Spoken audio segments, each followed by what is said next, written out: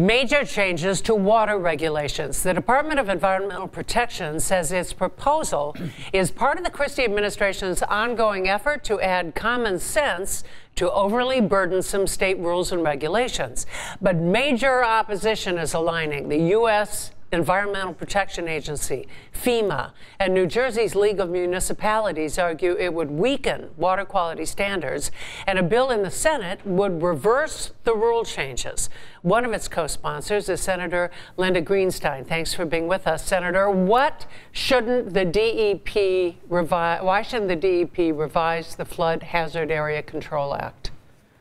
Well, um, as they are trying to revise that, uh, what they will be doing is weakening the protections that we've worked so hard for for so many years.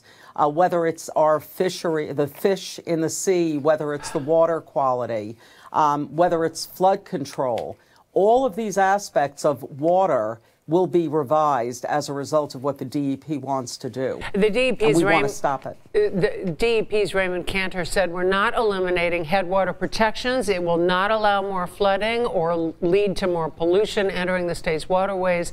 How would the plan leave the state more susceptible to flooding? Well, we just don't agree with what he said. We do think that the headwaters would be affected. That's the place where the streams um, begin.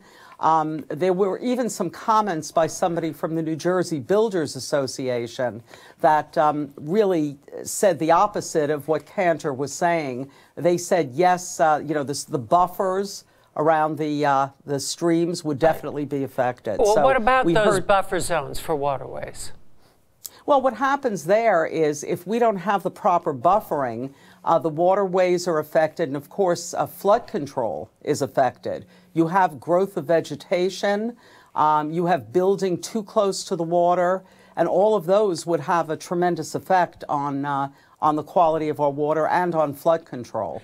The DEP says it met with state officials, and some of the EPA's initial concerns have been ameliorated. Are you satisfied with the information they provided at the hearing?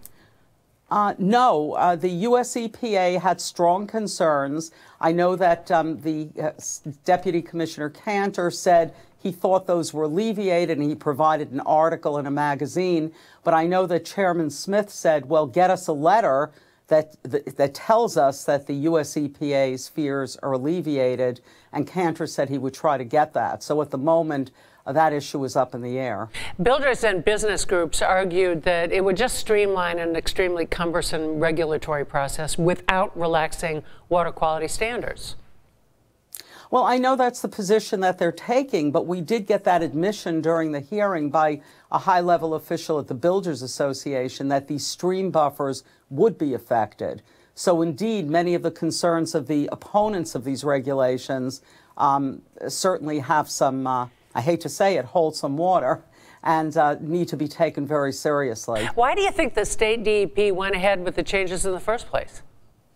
Well, I think there's, in this administration, there's a strong push to um, simplify regulations, and they've certainly tried to do that in the environmental area. Unfortunately, environmental protections can't always be simplified.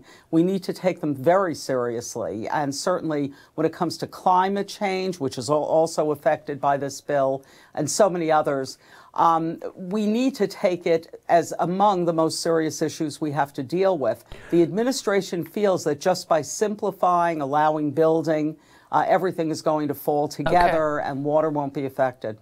All right. Thanks for being with us, Senator Linda Greenstein. Thank you for having me.